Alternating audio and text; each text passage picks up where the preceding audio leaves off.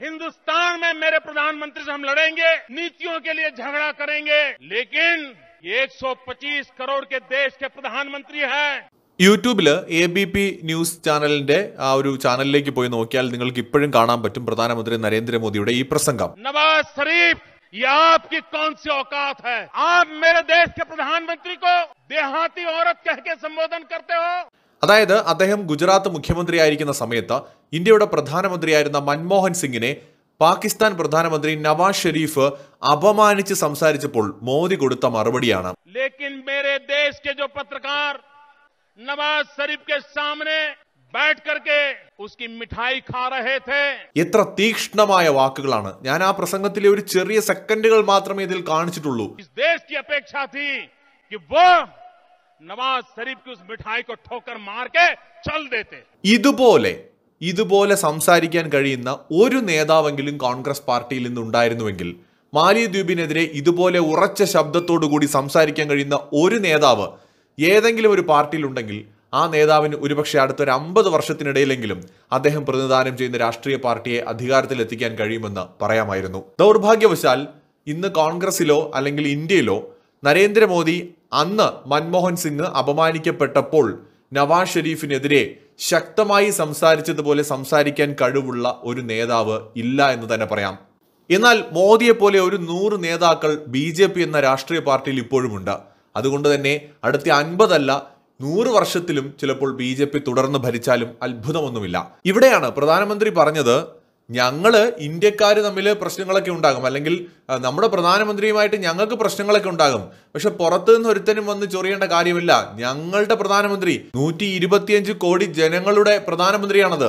അദ്ദേഹത്തിനെ കയറി ചൊറിയാൻ ഒരു നവാസ് ഷെരീഫും വരരുതെന്ന് പറഞ്ഞുകൊണ്ട് പ്രധാനമന്ത്രി നരേന്ദ്രമോദി നവാസ് ഷെരീഫിനെതിരെ അതിശക്തമായി പ്രതികരിക്കുകയാണ്. അന്ന് അദ്ദേഹം ഗുജറാത്ത് മുഖ്യമന്ത്രി മാത്രമാണെന്ന് ഓർക്കണം. അത് മാത്രമല്ല അന്ന് നവാസ് ഷെരീഫിന്റെ മുമ്പിലിരുന്ന് മുട്ടായി നിന്നുകൊണ്ടിരുന്ന ഇന്ത്യൻ മാധ്യമ പ്രവർത്തകരെ വളരെ രൂക്ഷമായി വിമർശിക്കാൻ അദ്ദേഹം മടി കാണിച്ചില്ല. മാത്രമല്ല നിങ്ങൾ ആ മുട്ടായി അയാളുടെ മുഖത്തേക്ക് വലിച്ചെറിഞ്ഞിട്ട് ഇറങ്ങി പോരണമായിരുന്നു എന്ന് വരെ പ്രധാനമന്ത്രി നരേന്ദ്രമോദി പറയണമെങ്കിൽ എത്രമാത്രം തീവ്രമായ ഒരു രാജ്യസ്നേഹിയാണ് അദ്ദേഹം എന്ന് നമുക്ക് മനസ്സിലാക്കാം. ഈ മറ്റ് പല പാർട്ടികൾക്കും ഇപ്പോഴും മനസ്സിലാവാത്തതും ഒരുപക്ഷെ ബി ജെ പിയോടും അല്ലെങ്കിൽ മോദിയോടും അവർക്ക് ഇപ്പോഴും ആ, എതിർത്ത് നിൽക്കാൻ കഴിയാത്തതും എന്താണ് ഇവരെന്ന് മനസ്സിലാവാത്തത് കൊണ്ടാണ്. പലരും കരുതുന്നത് പോലെ ഹിന്ദുത്വമല്ല അതിനപ്പുറം തീവ്രമായ രാജ്യസ്നേഹവും ദേശീയതയിലും അടിത്തറയുള്ള ഒരു പ്രസ്ഥാനമാണ് ഇവരുടേതെന്ന് പലർക്കും മനസ്സിലായിട്ടില്ല. നോക്കൂ ഗുജറാത്ത് മുഖ്യമന്ത്രിയായിരിക്കുന്ന നരേന്ദ്രമോദിക്ക് പാകിസ്ഥാൻ ഈ പറയുന്ന പ്രധാനമന്ത്രി മൻമോഹൻ സിംഗിനെ ഈ വിധത്തിൽ പരിഹസിക്കുമ്പോൾ കൂടെ നിന്നിട്ട് പ്രധാനമന്ത്രി കണ്ടില്ലേ മറ്റ് രാജ്യങ്ങൾ വരെ പരിഹസിക്കുന്ന പ്രധാനമന്ത്രിയാണ്. രാജിവെച്ച് പോകണം മറ്റാരെങ്കിലും കൊണ്ടുവരണം എന്നൊക്കെ പറഞ്ഞുകൊണ്ടുള്ള പ്രസ്താവന ഇറക്കി അതിന്റെ കൂടെ അങ്ങ് നിന്നാ മതി. ഇപ്പൊ പലരും ചെയ്യുന്നത് പോലെ. കാരണം ഗുജറാത്തിലാണെങ്കിലും ഇന്ത്യയിലാണെങ്കിലും ബി ജെ പിയുടെ ഏറ്റവും വലിയ എതിരാളി എപ്പോഴും കോൺഗ്രസ് ആണ് അപ്പോൾ ആ സമയത്ത് പോലും മാധ്യമങ്ങളെ പോലും വിമർശിക്കാൻ പ്രധാനമന്ത്രി നരേന്ദ്രമോദി മടി കാണിച്ചില്ല. അതിനൊറ്റ കാരണമേ ഉള്ളൂ. അന്ന് പാകിസ്ഥാൻ പ്രധാനമന്ത്രി നവാസ് ഷെരീഫ് വിമർശിച്ചത് ഇന്ത്യയുടെ പ്രധാനമന്ത്രിയാണ്. കോൺഗ്രസിന്റെ പ്രധാനമന്ത്രിയല്ല. അല്ലെങ്കിൽ കോൺഗ്രസിന്റെ ലീഡറല്ല കാരണം അദ്ദേഹം ഇന്ത്യയുടെ പ്രധാനമന്ത്രിയാണ്.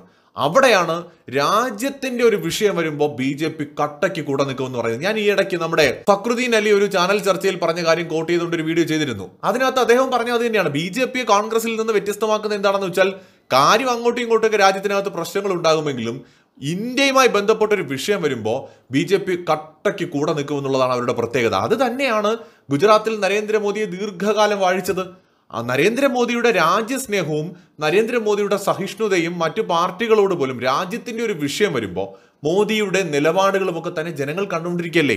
അവർ തന്നെയാണ് രണ്ടാമതൊരു അവസരം മോദിക്ക് കൊടുത്തത്. അപ്പോൾ ഇപ്പോൾ മാലിദ്വീപുമായി ബന്ധപ്പെട്ട വിഷയത്തിലും ശരിയാണ് ചില പ്രതിപക്ഷ നേതാക്കളും പാർട്ടികളും ഒക്കെ ഇന്ത്യയ്ക്ക് അനുകൂലമായി പറയുന്നുണ്ടെങ്കിലും അപ്പോഴും അവരതിനകത്ത് ഇതിന്റെ ഇടയിൽ കൂടി ഒരു പണിയുണ്ടല്ലോ ഇടയിൽ കൂടി ഒരു പണി. അത് വയ്ക്കാൻ മറക്കുന്നില്ല. അതായത് ശക്തമായിട്ട് ഗവൺമെന്റിനൊപ്പം നിൽക്കാനുള്ള ഒരു ധൈര്യം കാണിക്കാൻ പറ്റുന്നില്ല. ഇത് ഇന്ത്യ ഇന്ത്യ തൊട്ട് കളിക്കണ്ട എന്ന് പറയാൻ ഉറച്ച ശബ്ദത്തോടെ പറയാൻ ഒരു നേതാവിനും കഴിയുന്നില്ല. എന്തിന്? ചൈനയുമായി ബന്ധപ്പെട്ട വിഷയം വന്നല്ലോ. രാഹുൽ ഗാന്ധി എന്തായതെന്നറിയോ? ആ ഇന്ത്യയുടെ സ്ഥലമെല്ലാം ചൈന പിടിച്ചുകൊണ്ടുപോയി മോദിജി ഉറങ്ങാണ്. നിങ്ങൾ എന്ത് ചെയ്യുമായിരുന്നു ജവാന്മാർ എങ്ങനെ കൊല്ലപ്പെട്ടു എന്ന് അറിയാമെന്നൊക്കെ പറഞ്ഞ അത്തരം ഒരു സിറ്റുവേഷനെ ശരിക്കും വേസ്റ്റ് ആക്കി മാറ്റി അദ്ദേഹം. എനിക്ക് അദ്ദേഹത്തോട് ഏറ്റവും എതിർപ്പ് തോന്നിയ സന്ദർഭം അതായിരുന്നു. ഗാൽവാൻ ഇഷ്യൂ നടക്കുന്ന സമയത്ത് അടിയുറച്ച് നിൽക്കേണ്ട മനുഷ്യനാണ് അതിനുശേഷം അദ്ദേഹം എന്ത് ചെയ്തു എന്നറിയോ? പലയിടത്തും പോയിട്ട് ഇത് ഈ വിദേശ രാജ്യങ്ങളിൽ പോലും പോയിട്ട് ഇത്തരം സ്റ്റേറ്റ്മെന്റുകളൊക്കെ പറയാറുണ്ട്. ഇത്തരത്തിൽ കോൺഗ്രസിന് അവരുടെ കൈവശമുണ്ടായിരുന്ന ഒരു ദേശീയ വികാരം നഷ്ടപ്പെട്ടു എന്നതാണ് ഏറ്റവും പ്രധാനപ്പെട്ട കാര്യം. നരേന്ദ്രമോദിയുടെ നേതൃത്വത്തിൽ ബി ജെ പി ആ ഒരു ദേശീയ വികാരത്തെ വളരെ വളരെയധികം ഉയർത്തിക്കൊണ്ടുവരാൻ പരിശ്രമിക്കുന്നതിന്റെ ഫലം കൂടിയാണ് മോദിക്ക് കിട്ടുന്ന ജനപിന്തുണ എന്നതും വളരെ പ്രസക്തമാണ്.